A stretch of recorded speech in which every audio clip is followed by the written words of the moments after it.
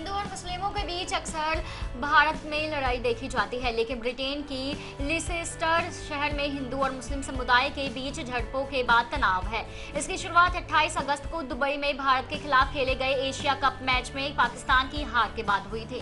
दो दिनों पहले शहर के पूर्वी इलाकों में दोनों समुदाय के टकराव के बाद माहौल ज़्यादा बिगड़ गया। वहीं शांति की अपील करने के साथ ही पुलिस उपद्रवियों के खिलाफ ऑपरेशन चला रही है। अब तक 20 से ज़्यादा लोगों को अरेस्ट किया गया है। दोनों समुदाय के लोगों ने एक दूसरे पर हमला करने और रैलियाँ निकालने पर आरोप लगाए जा रहे हैं। ज़्यादातर प्रदर्शन बेलग्रेव रोड पर हुए हैं। इस इलाके में भारतीय और पाकिस्तानी मूल लोगों के कई रेस्टोरेंट हैं। पुलिस ने सोमवार सुबह छह बजे तक के लिए डिस्पर्सल ऑर्डर जारी कर दिया है। इसके तहत किसी को भी रोका जा सकता है और पूछताछ की जा सकती है।